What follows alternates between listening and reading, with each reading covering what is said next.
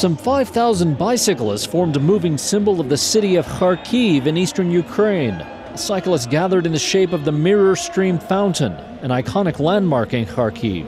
Participants said they wanted to call attention to the lack of bike paths in the city. It's the second year that Kharkiv cyclists have done this. Last year, 3,000 riders took part.